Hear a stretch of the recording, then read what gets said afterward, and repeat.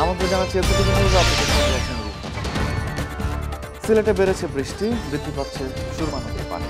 কিছু কিছু এলাকার নিম্নাঞ্চল নতুন করে প্লাবিত।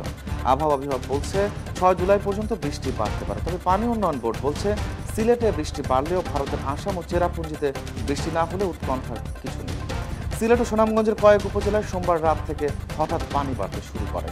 মঙ্গলবার সন্ধ্যা পর্যন্ত পানি বৃদ্ধি অব্যাহত ছিল। এ নিয়ে স্থানীয় জনমনে আতঙ্কেরও সৃষ্টি হয়েছে।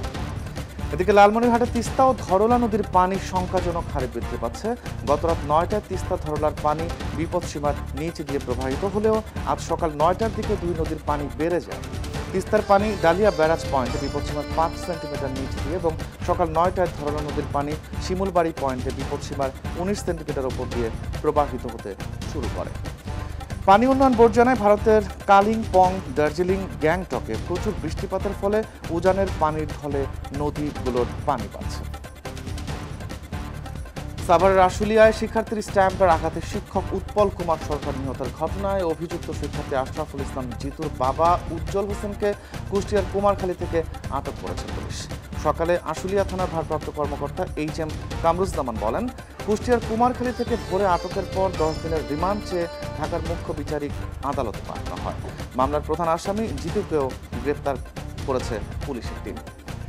এদিকে শিক্ষকদের উপর আক্রমণ বন্ধের দাবি জানিয়েছে বিশ্ববিদ্যালয় শিক্ষক নেটওয়ার্ক।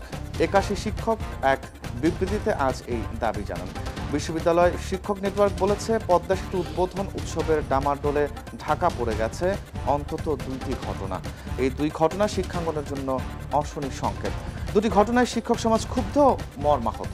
নড়াইলে এক কলেজ অধ্যক্ষের গলায় পড়ানো হয়েছে জুতার মালা আর সাভারে এক স্কুল শিক্ষককে পিটিয়ে হত্যার অভিযোগ উঠেছে তারই এক ছাত্রের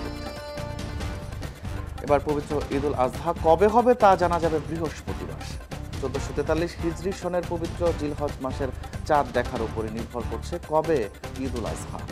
তারিখ নির্ধারণে বৃহস্পতিবার সন্ধ্যায় ইসলামিক ফাউন্ডেশনের বায়তুল মকাররম সভাকক্ষে বৈঠক করবে জাতীয় চাঁদ দেখা কমিটি। সভায় সভাপতিত্ব করবেন ধর্ম বিষয়ক মন্ত্রণালয়ের প্রতিমন্ত্রী মোহাম্মদ ফরিদুল হক খান। দুর্নীতি দমন কমিশন দুদকের মামলায় চার বছরের কারাদণ্ডের বিরুদ্ধে ডেস্টিনির প্রেসিডেন্ট সাবেক সেনা প্রধান হারুনার রশিদের স্বাস্থ্য পরীক্ষার রিপোর্ট চেয়েছে হাইকোর্ট। তার আবেদনের পরিপ্রেক্ষিতে বুধবার বিচারপতি মোহাম্মদ নজরুল ইসলাম তালুকদার ও বিচারপতি কাজী মোহাম্মদ ইজারুল হক আকন্দের হাইকোর্ট বেঞ্চ এই আদেশ দেন। মেডিকেল বোর্ড গঠন করে পনেরো দিনের মধ্যে বিএসএমএমইউ কর্তৃপক্ষকে এই প্রতিবেদন দিতে বলা হয়। এবার দেশের বাইরের খবর। ভারতের মহারাষ্ট্র রাজ্যের রাজধানী মুম্বাইয়ের নাসিক নগরে একটি চারতলা ভবন ধসে উনিশ জনের মৃত্যু হয়েছে। নিহতদের মধ্যে বারো জনের পরিচয় জানতে পেরেছে নাসিক নগর পুলিশ। মহারাষ্ট্রের মুখ্যমন্ত্রী উদ্ধব ঠাকরে নিহতের পরিবারকে পাঁচ লাখ টাকা করে সহায়তা দেওয়ার ঘোষণা দিয়েছেন। ঘটনাস্থল পরিদর্শন করে রাজ্যের পর্যটন পরিবেশ মন্ত্রী আদিত্য ঠাকরে বলেন, এই ভবনটি ঝুঁকিপূর্ণ ছিল। বাসিন্দাদের সরে যেতে কয়েকবার লিখিতভাবে নির্দেশ দেওয়া হলেও তারা সরে যায় কানাডার একটি ব্যাংকে বন্দুকযুদ্ধের ঘটনায় দুই অস্ত্রধারী নিহত হয়েছেন। এছাড়া এই ঘটনায় আরও ছয় পুলিশ কর্মকর্তা আহত হয়েছেন।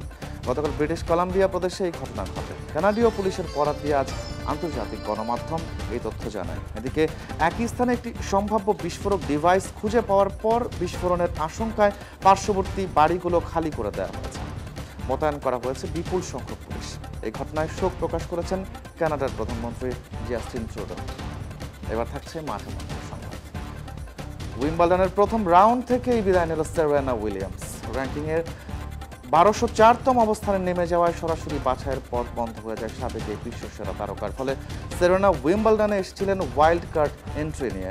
তবে ফরাসি তারকা হারমোনি ট্যানের কাছে পাঁচ সাত ছয় এক ও সাত দশ সেটে হেরে প্রথম রাউন্ড থেকেই বিদায় নিলেন তিনি।